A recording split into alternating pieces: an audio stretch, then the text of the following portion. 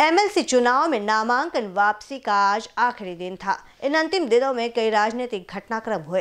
अगर BJP Kolhapur MLC seat से अपनी उम्मीदवारी वापस ली है तो नंदुरबार धुले सीट से कांग्रेस प्रत्याशी ने नाम वापस ले लिया है।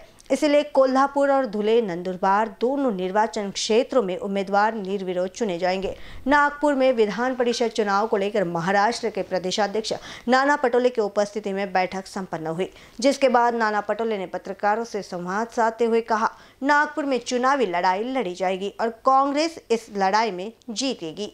कांग्रेस के प्रदेशाध्यक्ष नाना पटोले ने कहा, कोल्हापुर और नंदुरबार धुले में दो सीटों पर निर्विरोध जीत हासिल की है। एक सीट कांग्रेस और एक सीट बीजेपी के खाते में गई है।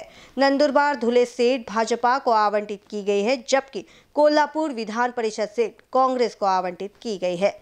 इसके अलावा मुंबई की कुल चार सीटों पर निर्विरोध चुनाव होगा। एक शिवसेना के लिए तो दूसरी बीजेपी के लिए। चुनावी लड़ाई नागपुर में लड़ी जाएगी और कांग्रेस इस लड़ाई को जीतेगी। नागपुर विधान परिषद चुनाव में छोटू भोयर विजयी होंगे। नाना पटोले ने यह भी कहा कि नागपुर सीट को लेकर बीजेपी की ओर से कोई प्रस्ताव नहीं आया था। इसलिए नागपुर सीट को लेकर कोई चर्चा नहीं हुई है।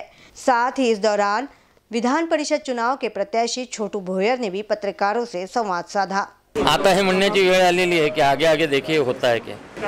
चाळीस आहेत की एकशे चाळीस आहे चौदा तारखेला कळेल आपल्याला. शंभर टक्के शंभर टक्के मला या गोष्टीचा महाविकास आघाडी सव्वा तीनशे मतं घेईल. पत्रकारों द्वारा नारायण राणे की भविष्यवाणी पर पूछे जाने पर नाना पटोले बोले, बीजेपी एक ऐसी पार्टी है जो झूठी भविष्यवाणी करती है। उनकी भविष्यवाणी का कोई मतलब नहीं होता। नाना पटोले ने मीडिया से बातचीत के दौरान यह भी कहा, बीजेपी एक भविष्य करने वाली पार्टी है। उनकी भविष्यवाणी हमेशा ही झूठी साबित हो रही है। साथ ही वो बोले की उन पर कोई भी विश्वास नहीं करता। उनकी भविष्यवाणी का कोई मतलब नहीं है। भविष्यवाणी की पार्टी है ये तो सबको पता है कि भविष्यवाणी कर कर कर ही ये लोग अ, सत्ता में आए झूठ बोल बोल के सत्ता में आए और ज- जिस दिन से महाराष्ट्र में ये सरकार महाविकास आघाड़ी की बनी उसी दिन से बीजेपी के नेताओं की तरफ़ से वक्तव्य आने शुरू हो गए कि ये, ये अगले महीने में सरकार गिरेगी। ऐसा करते करते ये सरकार को अब दो साल पूरे हो चुके हैं। ये सर महाविकास आघाड़ी की सरकार पाँच साल चलेगी। भविष्यवाणी करने वाले जो भाजपा की मानसिकता है वो झूठ मानसिकता अब जनता को समझ में आ गई और सरकार को भी समझ। उनकी भविष्यवाणी पिछले दो सालों से जारी है। हमने दो साल पूरे किए पाँच साल तक गठबंधन सरकार रहेगी। ऐसा भी नाना पटोले द्वारा कहा गया। कांग्रेस की अभी अभी एक बैठक संपन्न हुई है। क्या बताओगे मुंबई धुले और नंदुरबार के बाद नागपुर में किस तरह से विधान परिषद के चुनाव होने जा रहे हैं? नंदुरबार धुले कोल्हा कोल्हापुर और मुंबई ऐसे चार जगह में चुनाव बिन विरोध हो चुके हैं। और यहाँ पे ऐसा कोई नागपुर में प्रस्ताव बीजेपी की तरफ़ से नहीं था। यहाँ चुनाव होने जा रहा है और यहाँ महाविकास आघाड़ी का चुनाव उम्मीदवार चुनाव जीतेगा। जो है बीजेपी द्वारा जो है कयास लगा मतलब बहुत ज़ोर दिया जा रहा है कि बिन विरोध ये चुनाव हो और जिस तरह से वो नगर सेवकों को भी मतलब नॉट रीचेबल दिखाई दे रहे। कांग्रेस की ओर से क्या डर है बीजेपी को उनके जो सदस्य है जो वोटर है, जो लोगों में से चुन के आए हैं, उनके बारे में अविश्वास होना बीजेपी को और उनको नॉट रिचेबल करना, ये लोकतंत्र के लिए घातक है।